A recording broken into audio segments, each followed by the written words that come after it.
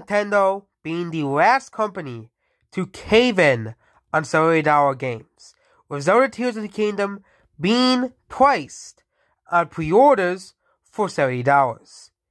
And, yeah, gaming, I think, is gonna go into another gaming crash. I've been predicting this for like the past couple of years, and I think it's more and more likely we're heading into another gaming crash, okay? Though, yes, I get it. If something is complete, if a game is good, then maybe it is deserving of the price, okay? But this is not an industry standard, okay? And with the lack of quality control in games nowadays, just like the 1980s, okay? But the problem is, unlike the 1980s, most of the people are seep, okay? They don't care, okay? They don't give a shit, okay? And most of the smart people will always try to see the writing on the wall. Look at Forspoken. Okay. A major PS5 exclusive. That was supposed to be a major game for the console. The first major true PS5 exclusive. Bombed. No one wanted to buy it. Okay. I don't know how Hogwarts Legacy will do. Okay. But people used to just be, you know, kind of like in the movie industry. Like, if I see a sequel to a movie, I know if I like the first movie, like sometimes you might get a disappointing movie. I can compare the modern day movie industry to the modern day gaming industry. Okay. You should have to be worried about the next titles that are coming out. Okay. The fact that they're charging $70 for games, but we still have to worry and pray that our games are complete at once. That our games are finished at once. Okay. And I'm not buying any more games at once day if unless it's something completely important like Pikmin 4, okay, or something like Kirby, okay, because I don't think most games are worthy of seventy dollars.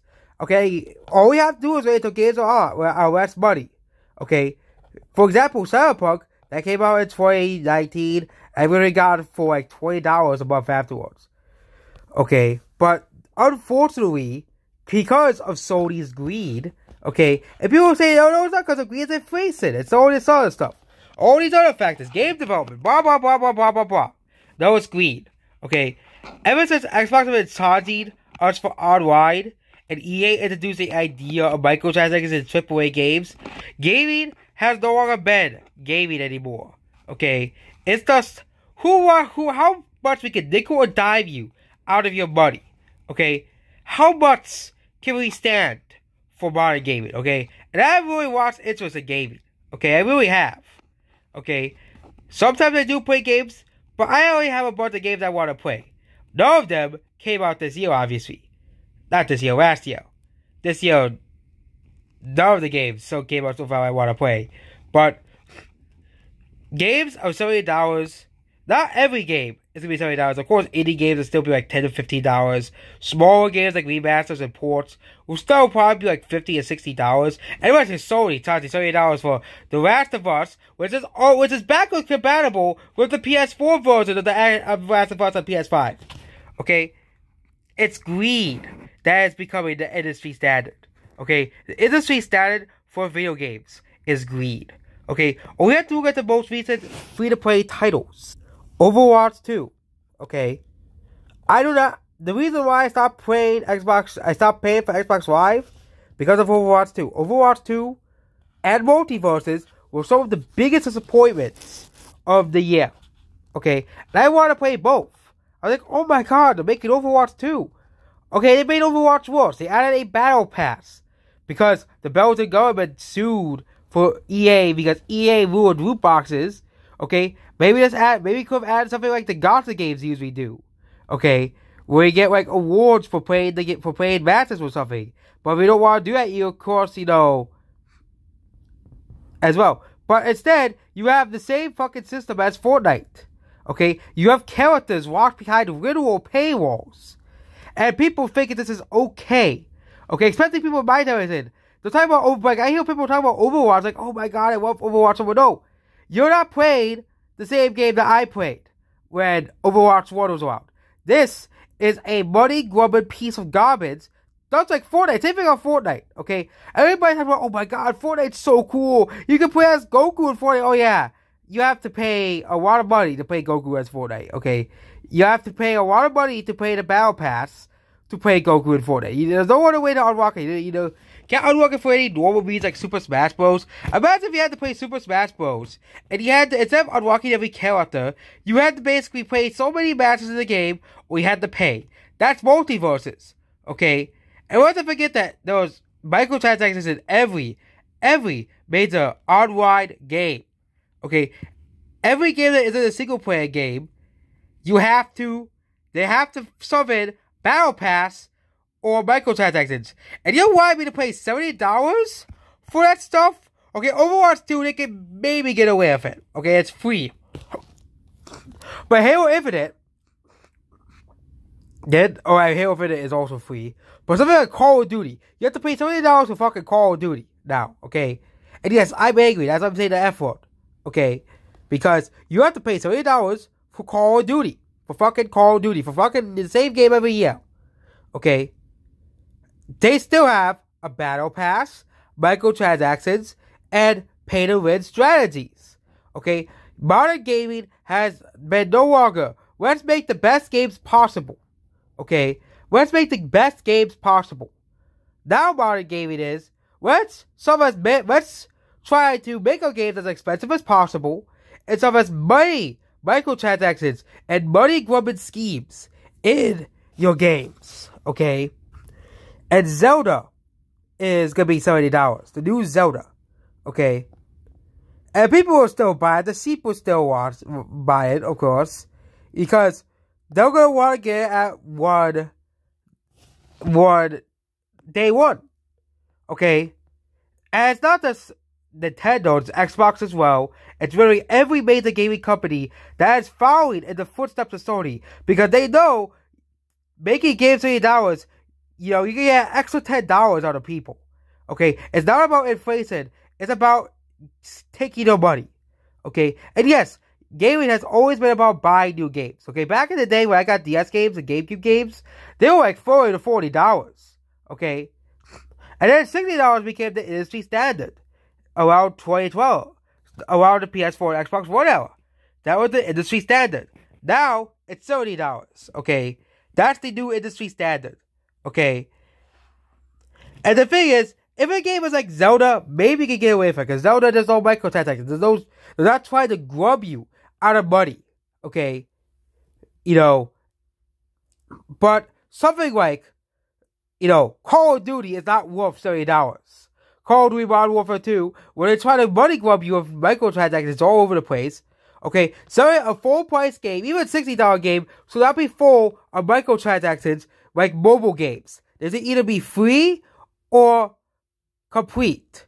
Okay, no microtransactions, no pay to win bullshit in our games. Okay, it's, but again, the companies like EA, Activision, and Nintendo, not Nintendo, and of course, Sony, you know, all of them, all the AAA developers, all of them, they know, hey, you know, we can try to take all the money. And some of the more controversial games like Middle of Star War flopped because they focused too much on microtransactions. They tried to take away your, uh, they tried to, you know, scam people with these garbage games. But thankfully, a lot of these practices are out of big games. Okay? Because of Fortnite. As much as they hate Fortnite, you can fake Fortnite that a lot of these money grubbing games are free to play now. Okay, like MultiVersus, Overwatch 2. Okay, it's still a city system. Okay, but you know, it isn't you know the way it used to be. But then, let's go into the elephant of doom. Glitchy and buggy games. Games that are incomplete at once. Games that lack content. Okay, a game that lacks content is buggy and is incomplete at launch, so not, absolutely not, be seventy dollars. Pokemon Scarlet Violet, okay, it's not worth seventy dollars. Forspoken, not worth seventy dollars at all. Okay, those two games are not worth seventy dollars. Okay, this game is not worth seventy dollars. Okay, and uh, and People say that it's gonna kill the console industry. Oh wait, on Steam, the full price, four games at once, is the same on consoles. I bet the same thing at Epic Game Store as well. It is not just console gaming, it is PC gaming as well. And prices will go down eventually. Okay? Obviously. Okay? They can't keep games $70 forever. They had, they, you know, as well. And when it's Nintendo, only Nintendo can get away with that somehow. But, Dead Space and Forspoken are two games that recently released and they're both $70. At least Dead Space, the game is complete. Okay, the game is complete at once. Okay, the game is playable. The game isn't full of bugs and glitches and microtransactions. But if we want, okay, if we if they if they really want games to be seventy dollars, they gotta really make the games worth seventy dollars. Okay, the state of the gaming industry is now now that and most of these games that came out last year, like Saints Row, okay, for example, Battlefield, okay, Call of Duty, FIFA, Madden, you know, NBA, 2K, WWE, all these silly ass games that are complete garbage, but you keep keep buying them anyways. Well, that is the problem.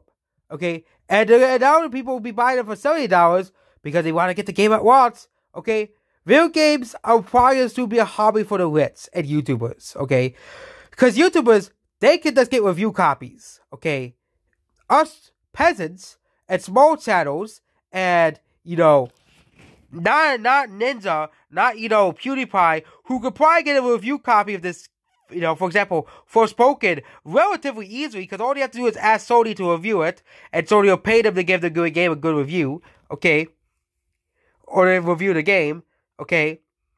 They could get away with it, obviously. Big channels, many of them over 100,000 to millions of subscribers, could get away with it because they, we're not pet, they're not peasants like us. Okay, of course they don't give a cent. They're not gonna talk about. They're not gonna say anything about because they get review copies. They get the pass. Okay, they get the pass. Okay, they don't have to pay for games like us peasants do. Okay, they don't. They don't have to pay seventy dollars for the newest Pokemon, for the newest Zelda, for the next Bethesda game, for the next Call of Duty. Okay, I'm speaking for everybody. Okay, nobody None of those people at the top have to pay. None of those journalists have to pay for the games because the developers just give it for free as long as they give the game a good review. Okay, this is why modern gaming is dying.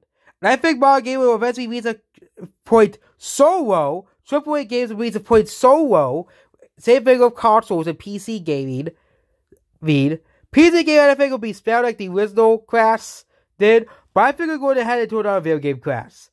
You know, Charging games for $30 now, nickel and diming consumers, forcing us to pay for our, and for, I guess what, all these so-called free-to-play online games, uh, on the console, well, you're gonna have to pay $60 a year in order to play with your friends, okay? They're paywalling you, they're nickel and diming you, okay? And they're forcing microtransactions on top of you paying $60 for online, for PS4 and Xbox One, and the only company that is standing against this is unfortunately the company that made Fortnite, Epic Games. Basically saying that, hey, you don't have to play online. You don't have to go through a paywall to play the new game. You sort of have to play a paywall to play online. Okay, first of all, you already have, especially if you're by yourself, you already have to pay the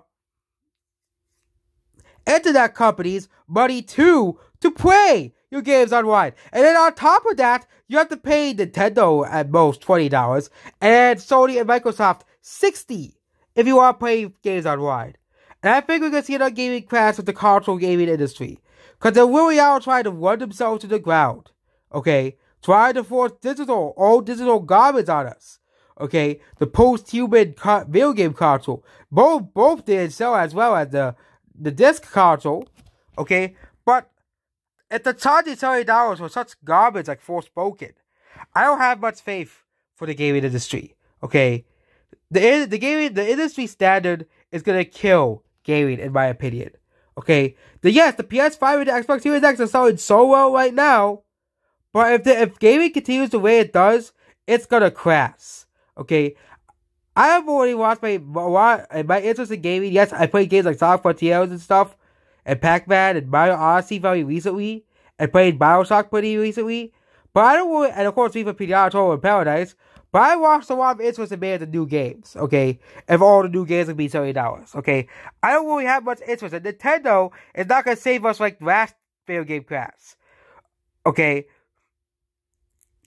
And I think once the gaming industry crashes again, we're going to see the same thing happen with modern games. Okay? And let's compare modern gaming to the modern movie industry.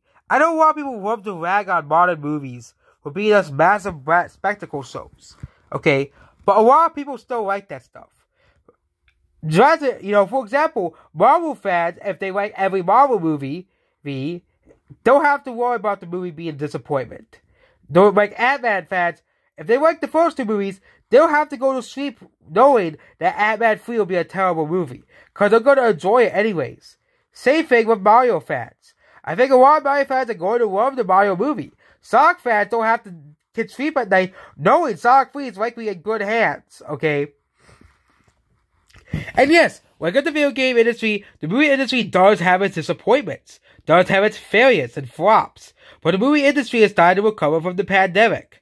Meanwhile, the gaming industry, they had a boom during the pandemic, but now the video game industry is in decline. Okay, because the gaming industry is screwing itself over with all these microtransactions, okay, and stuff, okay? Yes, people are talking about the new Harry Potter game, okay, but not for long, because people are not going, a lot of people are not going to want to pay $70 to play a Harry Potter game. Okay, it will sell pretty well, but it won't sell as well as games used to anymore. Okay, gaming is a dying industry. Okay, outside of course, I'm talking about gaming. I'm talking about the AAA industry. Okay, AAA games. Indie games, of course, obviously are thriving. You know, indie games, small, de- small game developers. You know, they're gonna be they are thriving. Okay, for example, you know, a lot of people are excited for a lot of you know a lot of people love indie games now. For example, some of the most successful games in the past decade were indie games. Okay, and, and as the AAA game industry dies, I think indie games are going to become more popular. I don't really care for indie games all too much as well, but if the game industry continues the way it does, I think indie gaming, you know, I think there's going to be a resurgence in popularity for retro games, which good work on that because we have done a very terrible job of preserving retro games and indie games and other and more niche cut games. And of course, buy games on sale, obviously. You know, when they're on sale. Of course, not everything is going to be the same price forever. Game companies do offer sales every once in a while, especially the games that cannot sell, like Anthem being offered for a dollar, a literal dollar. Okay, but yeah, everything I said about the modern gaming industry. Again, Zelda. I don't think people get Zelda fans have to worry about Zelda Tears of the KMP completes fast. Okay? Zelda is not the problem. Everyone else. Literally. Okay? God of War fans will probably have to have had a massive sigh of relief that they that those seventy dollars are not wasted getting God of War. Okay? But as as game as most games come out mediocre, unfair, buggy, or being full of microtransactions, I think we need to continue holding developers accountable for making broken, busy, and unfair games. Okay? Like, for example, Cyberpunk. The game was in development for 10 years. What were they even making? Okay? What were they making? Okay? Were they even developing the game at all? Okay? We need to hold these lazy developers to stat to the standard and make sure the games are glitchless and bugless. Okay? And the games run per- good on the consoles and PC. Okay? We need to be able to hold gaming AAA developers accountable before it's too late as well. So that's basically for this video. Goodbye.